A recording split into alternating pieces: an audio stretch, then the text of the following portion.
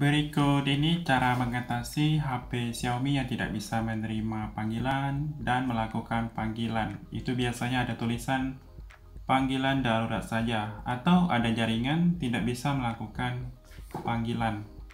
Nah, apa saja penyebabnya langsung saja berikut ini. Pertama, kalau kalian yang mengalami hal seperti ini, mungkin tak baru beli HP, coba kalian cek yang namanya email. Email HP kalian itu kalau tidak resmi memang jaringan tidak akan bisa masuk.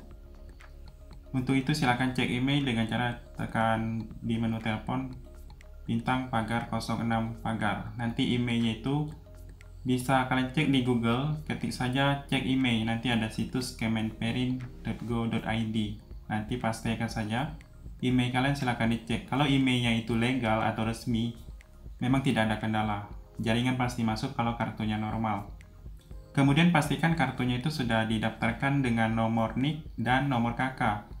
Karena kalau tidak didaftarkan, itu tidak akan ada jaringan, makanya tidak bisa nelpon dan terima panggilan telepon. Kemudian kalau ada tulisan darurat saja ini memang indikasi bahwa jaringan operator tidak masuk.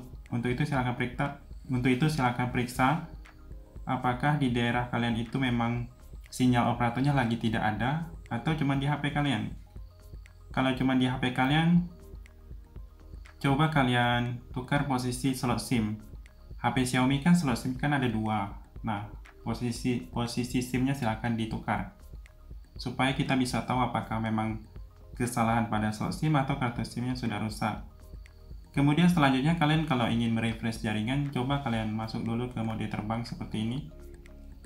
Kemudian kalian matikan. Nah, kalian harus keluar ruangan. Kenapa harus keluar ruangan? Supaya jaringannya itu lebih banyak. Kadang ada sebagian HP penerimaan sinyalnya itu kan tidak bagus, makanya tidak bisa. Dan selanjutnya itu bisa juga cek kartu kalian. Periksa pulsa, kemudian masa aktif. Kalau masa aktifnya sudah di luar kadaluarsa atau masa tenggang, memang tidak bisa. Kalau Telkomsel untuk cek pulsa, menunya itu bintang pagar 83 kali pagar Kemudian selanjutnya kadang error di HP kita, kalau HP yang lama tidak dimatikan, bisa kalian tekan lama, kalian matikan dulu HP-nya, lalu kalian hidupkan lagi, coba melakukan panggilan. Kadang HP yang error itu gara-gara lama tidak dimatikan.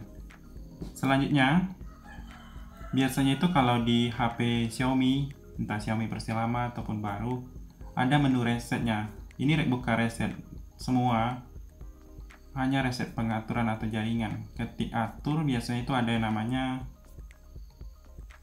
atur ataupun reset. Ketik reset.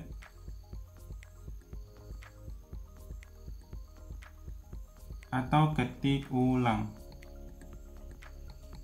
Biasanya ada reset setel. Nah, yang ini setel ulang. Setel ulang WiFi jaringan seluler dan Bluetooth. Yang di reset itu yang ini tiga ini. Jadi termasuk data selulernya. Pilih reset di bawah. Pilih OK.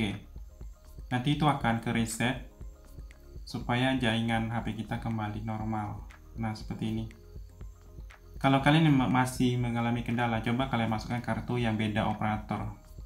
Apakah bisa atau tidak tapi sekarang kebanyakan itu gara-gara email tadi emailnya keblokir karena tidak terdaftar di pemerintah untuk itu hati-hati pada saat kalian beli HP, pastikan kalian cek email dulu. Emailnya terdaftar atau tidak. Kalau tidak terdaftar, tidak bisa digunakan HP-nya. Cuma bisa digunakan pakai WiFi seperti ini. Jadi itu saja. Bagi kalian yang ingin mencoba, silahkan. Kalau tidak berhasil, silahkan komen di bawah video ini. Semoga informasi ini bermanfaat.